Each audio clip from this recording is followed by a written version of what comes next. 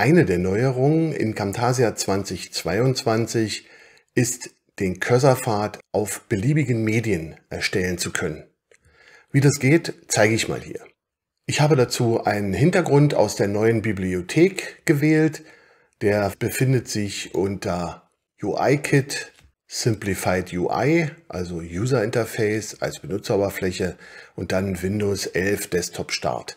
Den habe ich mal einfach auf die Timeline gezogen und jetzt werde ich den neuen Effekt verwenden. Der findet sich unter visuelle Effekte und heißt Cursor Pfad Editor.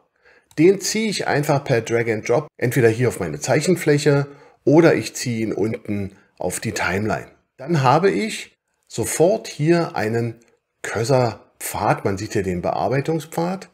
Und wenn ich das abspiele, sieht das so aus.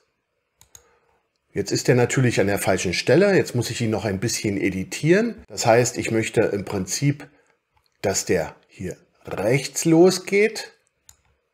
Dann kann ich hier auch diese Anfasserpunkte so ein bisschen kleiner machen. Hier dazu nutzen, dass die Kurve einen schönen Bogen macht. Und die Endposition soll hier natürlich sein an dem Windows-Menü. Der Bogen gefällt mir so noch nicht. Vielleicht gehe ich lieber so rum, damit er mir nicht zu sehr durch das Fenster durchgeht. Ich kann jetzt hier noch mit einem Rechtsklick Cursorpunkt hinzufügen, noch weitere Punkte erstellen und kann hier über den Linientyp die Art der Linie noch ändern. Also entweder eine Spitze, wo sozusagen der Mauszeiger dann hier wirklich um die Ecke fährt oder eine halbe Kurve und eine halbe Spitze in die andere Richtung und die gleichmäßige Kurve, die bevorzuge ich, weil das immer eine schöne weiche Bewegung gibt. Ja, und wenn ich das dann abspiele, dann sieht das Ganze folgendermaßen aus.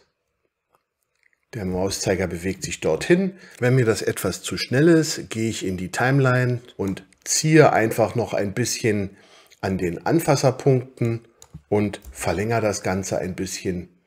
Ja, so sieht das schon sehr schön aus.